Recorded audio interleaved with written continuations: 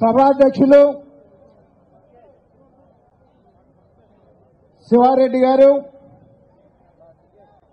వేదిక మీద ఉన్నటువంటి వివిధ రాజకీయ పక్షాల నాయకులకి ఈనాటి సమావేశానికి సభకి హాజరైనటువంటి సోదర సోదరిమణులందరికీ కూడా నా హృదయపూర్వక నమస్కారం. భారత్ మాతా కీ భారత్ మాతా కీ జై అమరావతి అమరావతి రాజధానిగా ఎందుకు ఉండాలి?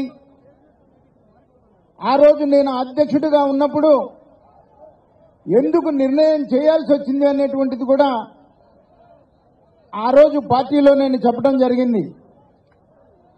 అమరావతి రాజధానిగా పెట్టాలని చెప్పేసి నిర్ణయం తీసుకున్నప్పుడు ఈ రాష్ట్ర ఆ రాజ- అప్పటి రాష్ట్ర అసెంబ్లీలో Telugu Desam party Yuvajana Shramika Rythu Congress party Bharatiya Janata party అసెంబ్లీలో ఉండి అసెంబ్లీ బయట నుండి కాంగ్రెస్ పార్టీ ఉభయ కమ్యూనిస్టులు కూడా ఒక రాజకీయ కన్సెన్సెస్ తోటి ఆ రోజున అమరావతిలో రాజధాని ఉండాలి అనేటువంటి ఒక నిర్ణయం తర్వాత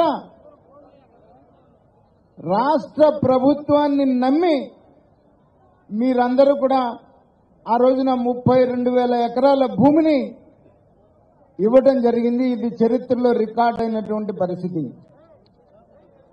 నిర్ణయం చేయటం వరకే రాష్ట్ర ప్రభుత్వం అన్ని రాజకీయ పార్టీలతోటి కన్సెన్సస్ తోటి తీసుకున్నటువంటి భాగం. దాని తర్వాత ఇరవై తొమ్మిది గ్రామాల యొక్క రైతులు అని తర్వాత అప్పుడున్నటువంటి రాష్ట్ర ప్రభుత్వం రెండు వేల కోట్లతోటి బాండ్లు అమ్మినటువంటి పరిస్థితి కానీ దాని తర్వాత రాష్ట్ర ప్రభుత్వం పదివేల కోట్ల రూపాయలు దాంట్లో ఇన్వెస్ట్ చేసినటువంటి పరిస్థితి కానీ రాష్ట్ర ప్రజల సొమ్ము.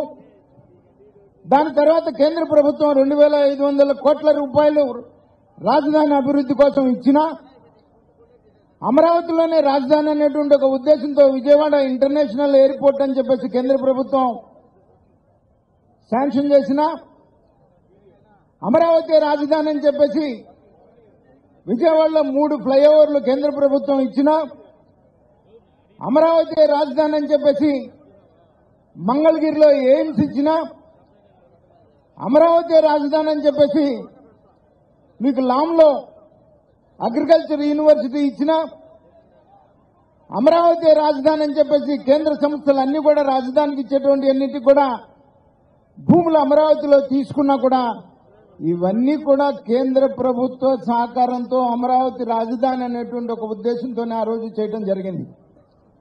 నిర్ణయం రాష్ట్ర ప్రభుత్వం తీసుకుంది ఆ నిర్ణయం అంతటితో అయిపోయింది.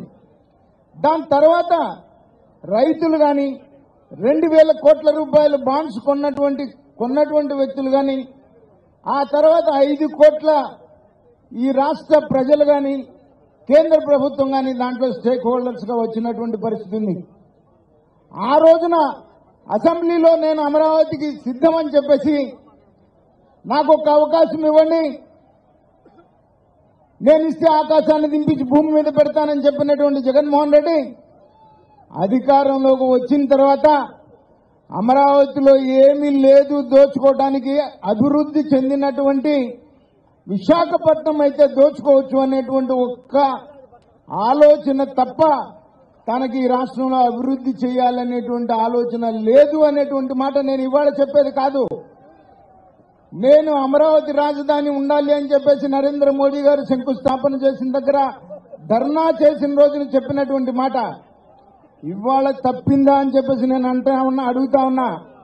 ఈ రోజున విశాఖపట్నం ప్రజలందరూ కూడా భయభ్రాంతులకు గురి అవుతా ఉన్నారు. విశాఖపట్నం క్యాపిటల్ వస్తుందంటే అక్కడ ఎవరు కూడా సంతోషంగా ఉన్నటువంటి పరిస్థితి కాదు. వీళ్ళందరూ కూడా అక్కడికి వెళ్ళి విశాఖపట్నాన్ని దోచేస్తా ఉంటే అక్కడ ఉన్నటువంటి ప్రజలు ఎప్పుడు ఎవరు ఆస్తులు పోతాయని ధన మాన ప్రాణాలు గుప్పెట్లో పెట్టుకొని ఉన్నటువంటి పరిస్థితి ఉంది. ఇవాళ నేను అడుగుతా ఉన్నా ఈ అభివృద్ధి గురించి మాట్లాడే అన్ని ప్రాంతాల అభివృద్ధి గురించి మాట్లాడేటువంటి మంత్రులందరినీ కూడా. రెండున్నర సంవత్సరాలు అవుతా ఉంది రెండు వేల పంతొమ్మిది తర్వాత ఈ రోజు వరకైనా. ఒక్క ఇటుకిరాయి పెట్టావా అని అడుగుతా ఉన్నా నేను. ఒక్క ఇటుకిరాయి ఎక్కడైనా? ఇటుకిరాళ్ళు తీసేసినటువంటి చరిత్ర తప్ప ఈ ప్రభుత్వానికి ఒక్క ఇటుకిరాయి పెట్టినటువంటి పరిస్థితి ఉందా అని చెప్పేసి నేను అడుగుతా ఉన్నా. ఇంకా మీరు అభివృద్ధి మాట గురించి మాట్లాడటానికి మీకు హక్కు ఎక్కడ ఉందని చెప్పేసి కూడా నేను అడుగుతా ఉన్నా. అభివృద్ధి కాదు దోపిడీయే ఈ రాష్ట్ర ప్రభుత్వం యొక్క విధానం అని చెప్పేసి నేను ఈ సందర్భంగా తెలియజేస్తూ దోపిడీ కోసమే మూడు రాజధానులు అన్నారు కానీ ఇందాక తులసిరెడ్డి గారు చెప్పినట్టు అభివృద్ధి నీ లక్ష్యం అయితే మరి రెండున్నర సంవత్సరాల్లో రాయలసీమలో రావాల్సినటువంటి అభివృద్ధిని నువ్వెందుకు చేయలేదు అని చెప్పేసి అని అడుగుతా ఉన్నా. నువ్వు అభివృద్ధి చేసి ఈ రోజున అభివృద్ధి గురించి మాట్లాడుతూ ఉంటే నీకు ఒక క్రెడిబిలిటీ ఉంటుంది కానీ నీ లక్ష్యం అభివృద్ధి కాదు. నువ్వు ఈ రాష్ట్రంలో నువ్వు ముఖ్యమంత్రి అయిన తర్వాత అన్ని వ్యవస్థల్ని నాశనం చేసినటువంటి చరిత్ర నువ్వు మిగిలిపోయి ఆంధ్ర రాష్ట్రంలో చరిత్రహీనుడిగా నిలబడిపోయావని చెప్పేసి ఈ సందర్భంగా తెలియజేస్తూ పెద్దల అమిత్ షా గారి ఆశీస్సులతో ఈరోజు నేను ఇక్కడికి వచ్చాను అని అంటే పెద్దల అమిత్ షా గారు మొన్న తిరుపతిలో మరి ఎందుకు మీరు పోలేదు అని చెప్పేసి అడగటం కూడా ఒక కారణం అని చెప్పేసి సందర్భంగా తెలియజేస్తూ మొదటి నుంచి ఏ రోజునైతే అమరావతి రైతులు ఉద్యమం మొదలు పెట్టారో ఆ రోజు నుంచి కూడా భారతీయ జనతా పార్టీ అమరావతి రైతుల వెంట ఉంది అని చెప్పేసి నేను సందర్భంగా తెలియజేస్తూ సెలవు తీసుకుంటున్నాను. భారత్ మాతాకి జై.